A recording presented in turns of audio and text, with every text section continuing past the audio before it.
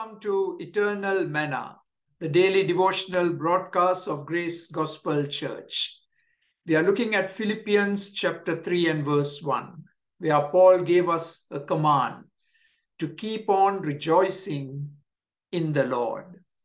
So let me give you some aspects of rejoicing in the Lord. A few P words to help you think this through and to apply it to your life. Rejoice in the person of God, in who He is, in all His attributes, in all His glories. Rejoice in the person of God. Then, of course, we are called to rejoice in the promises of God. God has given us many, many wonderful promises in His Word. Some of them are conditional.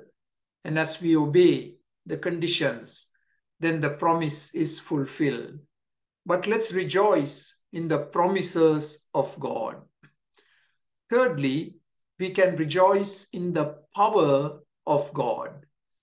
Yes, the power of God, the limitless power of God, is available for you and for me in uh, whatever extremity you find yourself in today, you can rejoice in the power of God.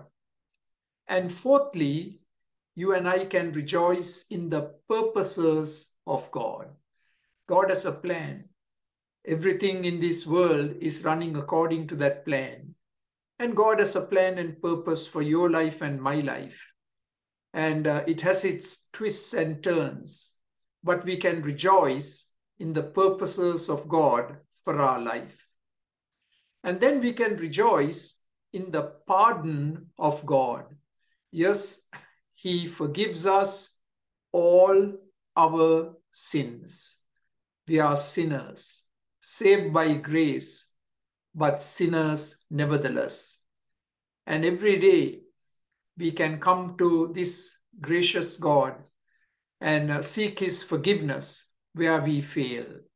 So we can rejoice in the pardon of God. And then we can rejoice in the provision of God. The Lord is my shepherd, I shall not lack anything. So, whatever you need, you can count on the Lord to come through for you. He is the faithful God and uh, we can rejoice in the provision of God for our life. And let me give you one more. We can rejoice in the patience of God. God is incredibly patient with us, isn't it? He puts up with us and uh, He doesn't wipe us out. We are not consumed. We are given grace day by day. So we can rejoice that our God is patient with us. God is patient with sinners, not wanting any to perish. He wants everyone to come to repentance so we can rejoice in the patience of God.